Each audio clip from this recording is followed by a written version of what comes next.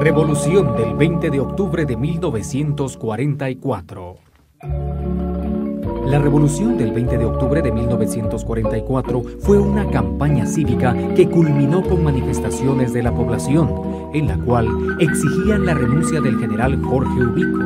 El 20 de junio fallece la maestra María Chinchilla, a lo que ciudadanos influyentes promovieron un alzamiento cívico-militar mediante el cual se derrocó del poder a Jorge Ubico y al sucesor Juan Federico Ponce Baides de la presidencia.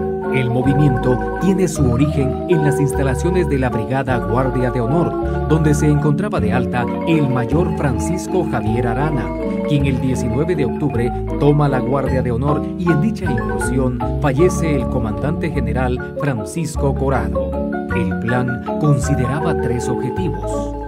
Tomar el Palacio Nacional, los castillos de San José de Buenavista y Fuerte de Matamoros. Esto se realizaría con las unidades militares de la Guardia de Honor. El 20 de octubre, a la 1.30 de la mañana, inician los movimientos para atacar el cuartel de Matamoros y de Buenavista.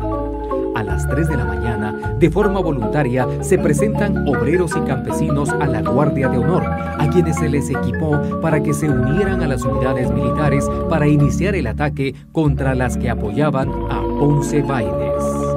16 horas duró el enfrentamiento, habiendo consolidado los objetivos y logrado la renuncia del general Ponce Baides, construyéndose así una junta revolucionaria provisional, la cual estaba integrada por el mayor Francisco Javier Arana, el ciudadano Jorge Toriello y el capitán Jacobo Arbenz Guzmán.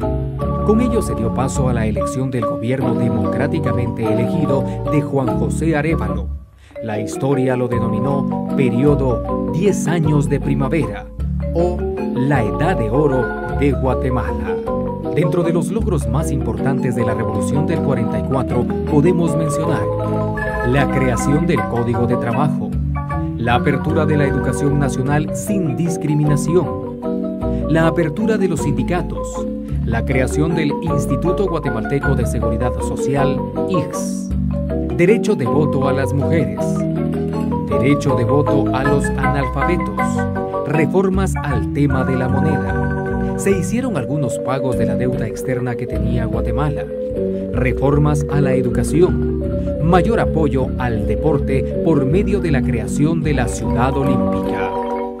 Cuando ocurrió la revolución de 1944, la ciudad tenía un escaso desarrollo urbano que se reflejaba en una deficiente y diferenciada cobertura de servicios esenciales, así como pocas posibilidades de trabajo para la población, por la casi inexistente industrialización, excepto por una fábrica de cerveza, otra de cemento y algunas textiles y jaboneras.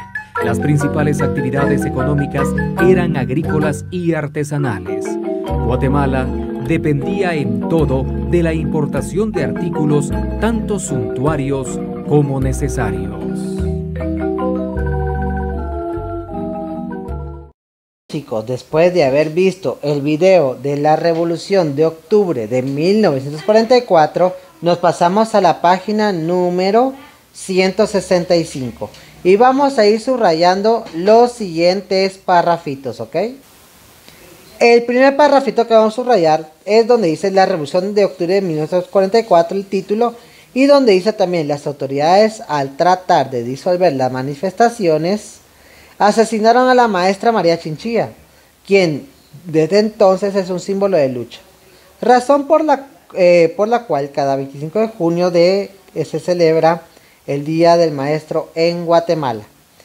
Y abajito subrayamos el, asesinato de la maestra motivó la protesta de, de más grande de la historia del país. Más de 100.000 personas iniciaron una huelga que duró una semana. Las firmas exigiendo la, la, renuncia de Ubico se multiplicaron. Jorge Ubico se vio obligado a renunciar el 1 de julio de 1944. Tras la renuncia de Ubico, asumió la presidencia de la República de Guatemala el general Federico Ponce Baides. Hasta ahí subrayamos. Y el último, las manifestaciones y protestas concluyeron el 20 de octubre de 1944, cuando el general Ponce Baide se retiró de la presidencia, dando fin a 14 años de gobierno dictatorial. Ok, todo lo que acabamos de subrayar, todo, todito, todo, vamos a copiarlo en esta ficha donde dice la revolución de octubre de 1944. Si no les cabe aquí, pueden seguir en el cuaderno, no hay ningún problema. Ok, mis amores preciosos, así que a trabajar. Esta es tarea del día de hoy. Que pasen una muy bendecida tarde. Adiós chicos.